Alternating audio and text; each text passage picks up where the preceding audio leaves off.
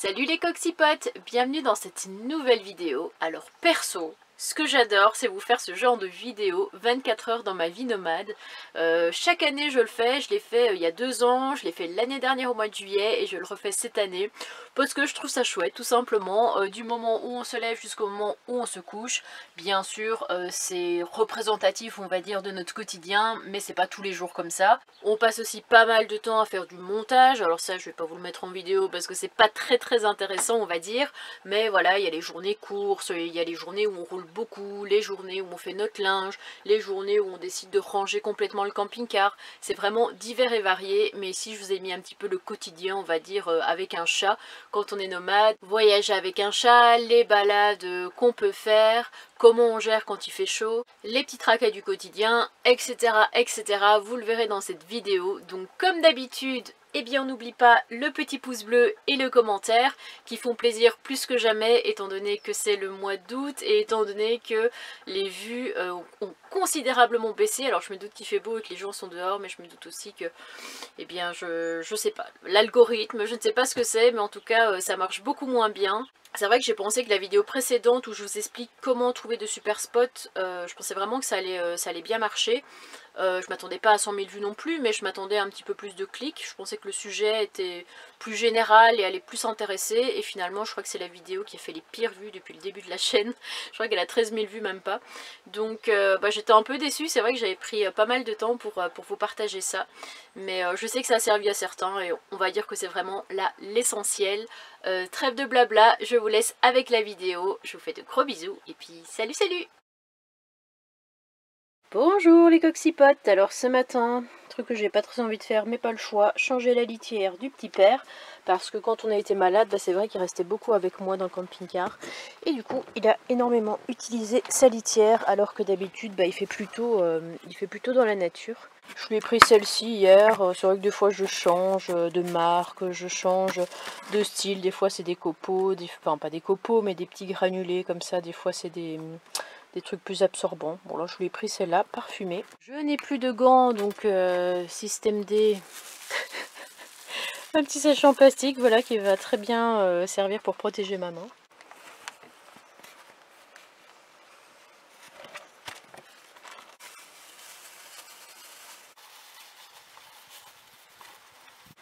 C'est pas la belle vie quand même de changer une litière dans un paysage comme celui-là en pleine nature moi je trouve ça quand même plutôt cool, plutôt atypique on va dire. C'est pas tous les jours qu'on fait ça. Et la dernière étape, on va remettre du gravier. J'aime toujours bien leurs ouvertures faciles où tu galères à ouvrir des trucs. Où tu as limite besoin d'une cisaille, euh, d'un taille et euh, ce genre de matériel pour l'ouvrir. Ah, bah voilà, quand même. On va mettre à peu près la moitié et on va remettre ça dans le camping-car. Place au lavage de cheveux. Hop, tout est prêt. Mon petit saladier vert, etc., euh, etc. On a pu remplir aussi notre eau chez Julien, donc ça c'est plutôt une bonne nouvelle. Même si on s'est aperçu hier que sur tout ce qu'on avait rempli, euh, les premiers, euh, premiers bidons, premières bouteilles, eh bien, je sais pas, ils ont, des particules comme ça à l'intérieur. Le mien, c'est le dernier à avoir été rempli et il n'y a pas de problème, il n'y a pas d'algues, quoi que ce soit. Et en plus, il y a assez d'eau pour me laver les cheveux, donc vraiment le top du top. Ce que j'adore là, c'est vraiment Oula, j'ai failli trébucher avec mes, mes petits chaussons malabar. Euh, ce que j'adore là, c'est entendre la rivière, qu'on entend vraiment du camping-car.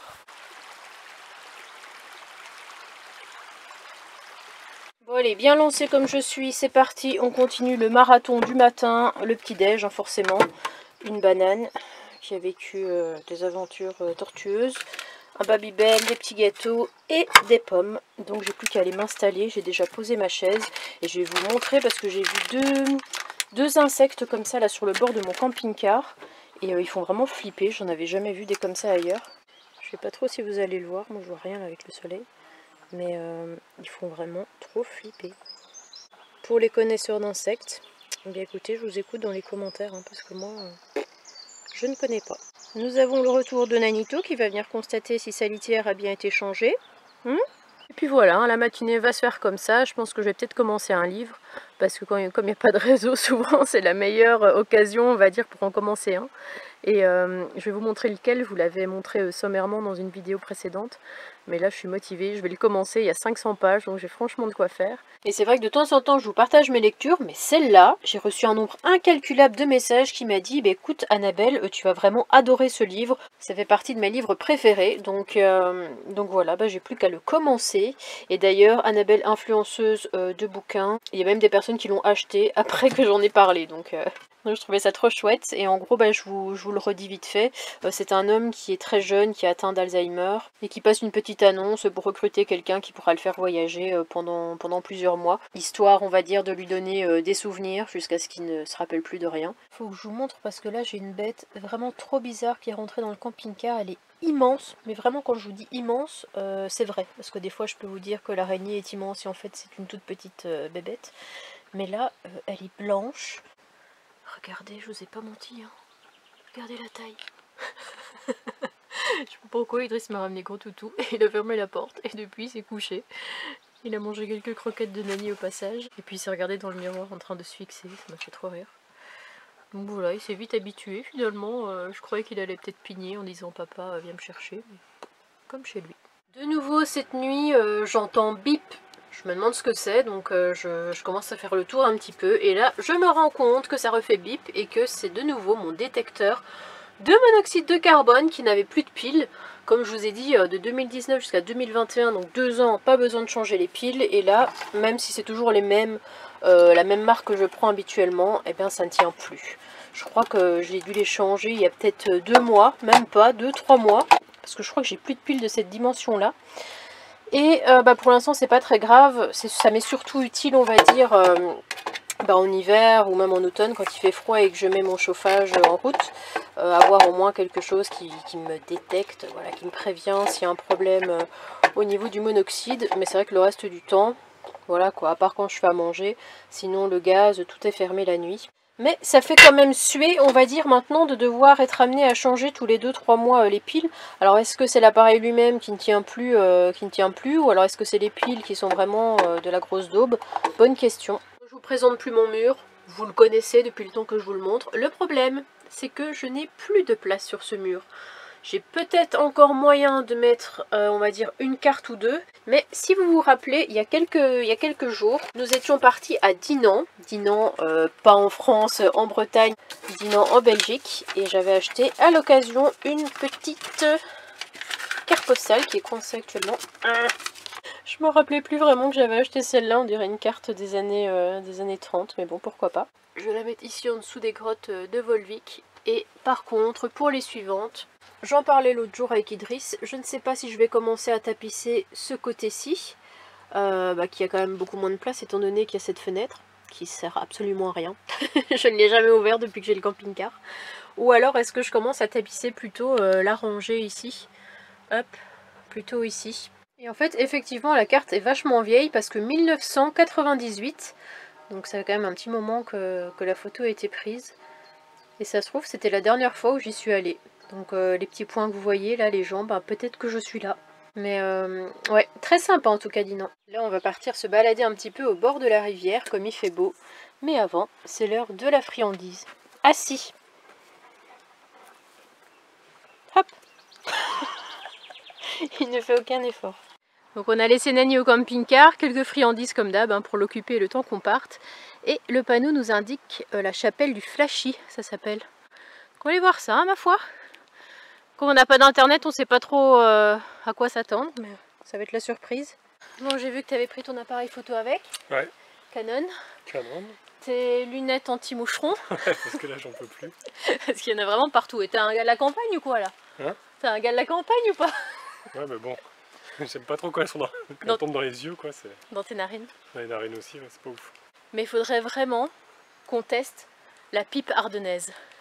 Ouais. en fait, tu dis ça comme ça parce que tu sais de quoi, de quoi je veux parler. Mais hier, quand je t'ai dit ça, tu, Qu'est-ce que c'est que ça? Est-ce que ce serait des petites gâteries qu'on ferait euh, dans les Ardennes belges? Non, en fait, euh, bah, la spécialité, on va dire, dans les Ardennes, c'est le jambon, c'est le jambonneau euh, ardennais et la pipe ardennaise, qui est en fait une espèce de saucisse. Bon, toi, tu vas pas en manger, tu manges pas de viande, Et non. mais c'est une espèce de saucisse euh, traditionnelle, tu vois. Donc, quand on ira du côté de La Roche en Ardennes, je sais que là-bas, il y a une, euh, une boucherie très ancienne, tu vois, très vintage. Je regarde si Nani, euh, si Nani est toujours sur le camping-car. J'en peux plus. On vient de partir, c'est grave. On vient de partir, on n'en peut plus. Hum, Qu'est-ce que je disais? Ouais, c'est vraiment une, une boucherie euh, typique, tu vois, genre des années 70-80. Ouais. Même la décoration est restée euh, comme dans l'ancien temps.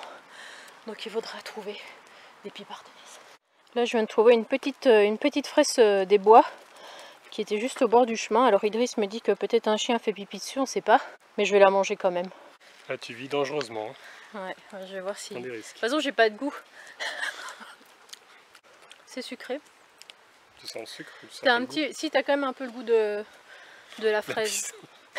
non. Perso, je n'en ai jamais mangé ni bu, donc euh, je sais pas, mais... Une chose est sûre, il faut vraiment la mériter, cette chapelle, parce que ça ne fait que monter, ça n'arrête pas. Ouais.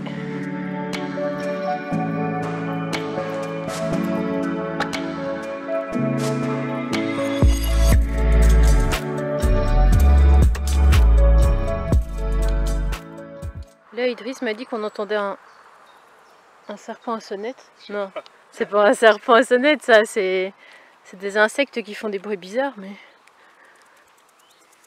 Ah ouais? Ouais, mais c'est plus genre un, un grillon, non? On dirait tu les serpents à sonnette, là. Ça fait un bruit comme ça un peu. Je sais pas s'il y en a ici.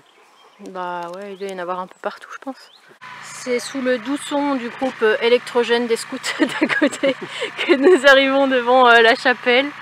Je pensais qu'elle était un peu plus grande que ça, mais... Il l'a mis carrément dans l'herbe. Ah oui, il est là-bas. Regardez. Hop, on voit ici. C'est vrai que c'est assez bruyant. Je pensais en prendre un, mais j'ai regardé euh, pas mal de vidéos. euh, et même ceux qui font censés pas faire trop de bruit, ça fait quand même du bruit.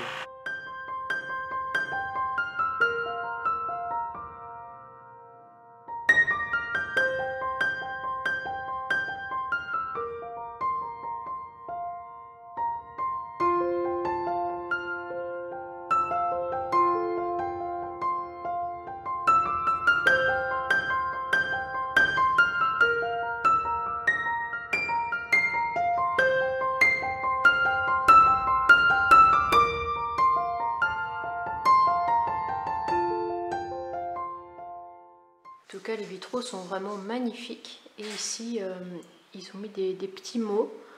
Il y a même une personne qui a mis un petit mot en disant euh, qu'il s'était réfugié ici comme il pleuvait. Et en fait, l'histoire de la chapelle, elle est belle, mais à la fois, elle est quand même un peu triste. Parce que c'est l'histoire de Yann, qui est un étudiant et qui a rencontré euh, Rose, une femme qui vivait par ici. Le problème, c'est qu'ils ont vécu une belle histoire d'amour, ils se sont mariés, etc. Mais à un moment donné, il y a eu la guerre, la Deuxième Guerre mondiale qui a fait que bah, son bien-aimé a fini par mourir au front. Et euh, en son honneur, pour, enfin, pour lui rendre hommage, elle a décidé de faire construire cette chapelle. Et après, les années sont passées, c'est vrai qu'elle s'est remariée avec euh, un autre homme, elle a eu six enfants, je crois. Hein, elle n'a pas chômé. Mais malgré tout, sa dernière volonté, c'était d'être enterrée dans cette chapelle auprès de son amour, euh, auprès de Yann, avec écrit, je vais vous montrer ça. Elle parlait d'une dalle un petit peu surélevée, donc qui se trouve ici, avec euh, une phrase de Saint-Exupéry. L'amour, une fois qu'il a germé, fait pousser des racines qui n'en finissent plus de cloître. Non, de croître. Mais euh, c'est une belle histoire. C'est sympa qu'ils mettent toujours des petits panneaux comme ça avec les légendes, les histoires. Après, on y croit, on n'y croit pas, mais, mais ici, je crois que c'est vrai. hein. Ah bah oui, C'est une vraie histoire. c'est pas une légende. Et là, on était posés comme ça autour de la table, euh, dans nos pensées. Puis on se disait, euh, enfin moi je disais, ce serait chouette si on partirait à pied, tu vois, à l'aventure, euh, pendant ne serait-ce qu'une semaine, tu poses la tente. Et toi, tu veux faire ça à trottinette? Non, je disais, ça aurait été marrant en trottinette, ce que tu me disais, c'est vrai qu'il faut avoir du physique quoi, pour faire ça. Bah ouais, il faut s'entraîner parce que c'est pas donné à tout le monde, surtout pas à moi. Et puis t'as inventé le concept, euh, J'irai me brancher chez vous. j'irai me brancher chez vous, après on ira dormir chez les gens, bah, on va se brancher avec nos trottinettes. Bah ouais, ça fait des legs quand même. Bah ouais. Des. On peut faire 80 bornes par jour, mais après faut la brancher, quoi, pas le choix. Ouais, enfin, elles font 50 à peu près. 80, c'est vraiment euh, sur du plat quoi. Sans Ouais. vent, sans rien. Moi j'ai fait, j'ai fait 80 bornes la dernière fois avec. Avec une seule charge 75 Ah, peut-être. quand même. Mais après moi je roule pas très vite. Donc euh, c'est pour ça aussi. Bah, on ira se manger chez vous, bientôt sur vos écrans. bon là Idriss vient de me faire une blague. Il m'a dit qu'il y avait un van entre nous deux. Donc moi je regarde un œil euh, aguerri pour voir, mais ça va, il n'y a personne, on est toujours que tous les deux. Et là on se dirige vers la, bah, vers la petite rivière quoi. On va choper Nani avec nous et on va partir tous ensemble jusque là-bas. Je sais pas si vous le voyez, mais euh, Nani vient de sortir de dessous le camping-car. Ils nous ont... Oh il miaule, oh non On arrive Nani, on arrive Mais faut surtout pas qu'il traverse la route, on arrive Oh il arrête pas de miauler comme un fou. Vous m'avez abandonné Où étiez-vous? On l'entend vraiment miauler mais comme un, comme un petit lion comme ça, il miaule avec le fond de sa gorge. Ça résonne. On est ici Chacha il, est, il a essayé de remonter toute la colline jusqu'en haut. T'avais de l'espoir, t'aurais pas su monter par là-bas. Alors, quoi de beau depuis tout à l'heure? Il y a son frangin qui vient le voir. Nani est un peu craintive parce que des fois Falcor a des réflexes euh, un peu violents. Vous m'avez abandonné. J'ai eu quelques friandises et puis je ne vous voyais plus. Oui. Oh. Ben ouais Nani. On va partir tous ensemble cette fois-ci. D'accord? Tu-. Il va aller se baigner dans la rivière. Allez, viens. Hein? Mettre les coussinets dans l'eau? Bah ouais, maintenant ça va être que des câlins. Oh là là, oh le boulot. On avait un doute qu'ils viennent avec nous, mais le voilà en train de, de galoper. Et nous, eh bien, nous allons essayer de... Je vais dire de trouver euh, la rivière, mais bon. Je l'ai déjà trouvé ce matin. Tu l'as déjà trouvé, donc il n'y a pas vraiment de a Une surprise. petite euh, plage privée. Magnifique.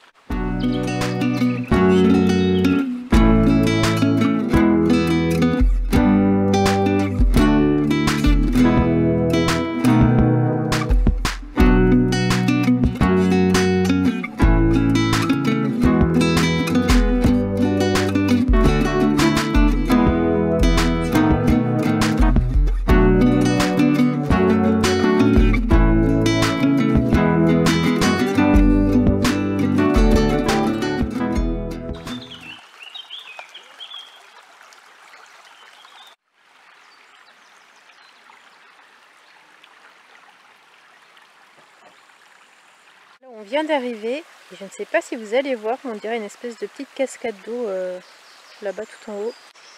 Ça fait très, euh, très zen. Est-ce que Nani va accepter de traverser par là? Bon, il a peur de rien ce chat. hein. Sauf de l'eau quand même, il aime pas trop l'eau, mais... Bon, ça c'est la fameuse plage dont tu me parlais. Voilà. La plage privée, nous y sommes. Il n'y a personne en plus, c'est top. Quand tu t'imagines, tu vois qu'à l'heure actuelle sur les plages, euh, tu sais où est-ce qu'on était, euh, comment ça s'appelle, à la côte d'Azur, ça doit être blindé. Bah, Puis nous, on est là au bord de notre petite rivière, tout seul.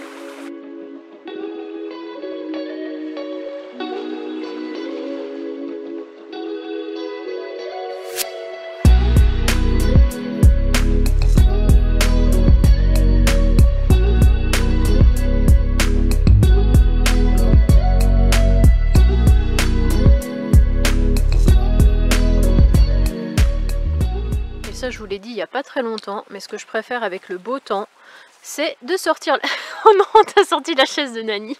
non, moi, il peut pas. Il ne prendra pas nos chaises, même si on n'est pas à l'abri que ça arrive. Mais euh, ce que j'aime trop, bah, c'est trouver des petits coins de nature comme ça, euh, sortir la table, les petites chaises, et puis euh, se poser quoi, pour manger en plein air. C'est vraiment ce que je préfère.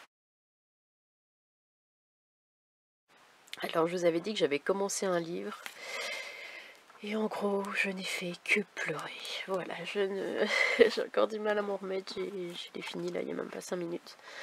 Et l'histoire est incroyablement belle. Triste mais belle. Et hum, voilà, si vous avez l'occasion un jour de, de lire ce livre, eh bien, je vous y encourage. Mais je vais pas, je vais pas en dire plus parce que si jamais ça vous intéresse ou que vous êtes en pleine lecture, euh, je vais pas vous raconter l'histoire euh, avant la fin.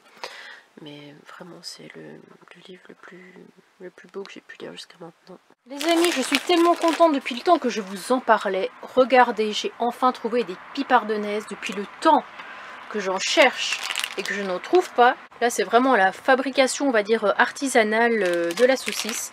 Donc, euh, je vais pouvoir me régaler. Franchement, ça fait 4 jours, 4 jours que j'en meurs d'envie.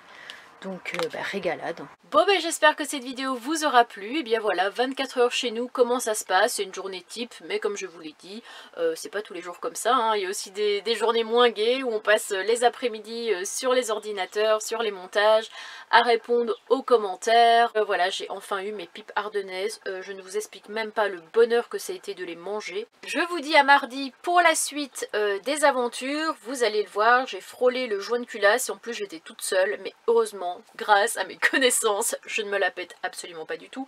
Euh, j'ai pu euh, sauver la situation, on va dire. Donc je vous dis à mardi. Salut, salut, portez-vous bien et portez une casquette aussi parce qu'il fait très chaud.